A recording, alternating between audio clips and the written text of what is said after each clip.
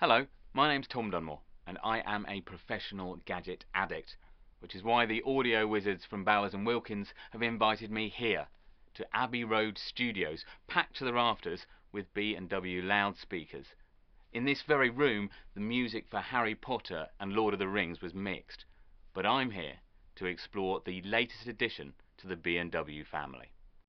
You'll probably be familiar with the iconic B&W Zeppelin iPod dock, winner of dozens of awards for its design and sound quality.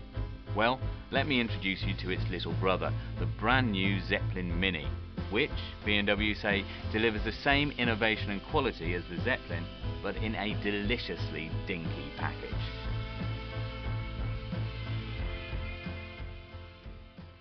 The first thing you'll notice about the Zeppelin Mini is its size. It's slim and spelt, but still powerful enough to fill a room with music. And despite its diminutive stature, the design demands attention with this polished chrome top plate that echoes that familiar Zeppelin silhouette.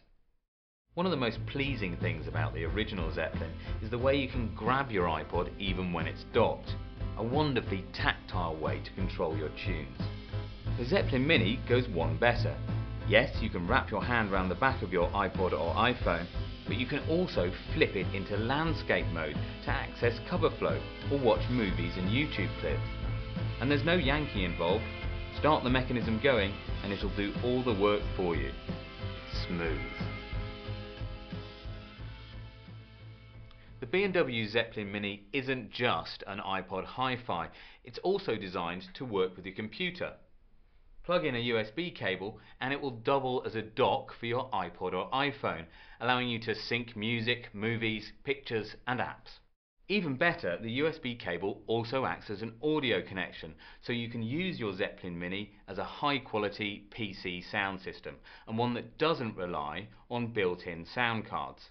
Instead, your computer just acts as a hard drive, passing raw data to the Zeppelin Mini, which then does all the hard work of translating that data into glorious music. We all know that iPods sound great through headphones. When you're filling a room with sound, you want the very best quality possible. And Bowers & Wilkins have a very neat solution.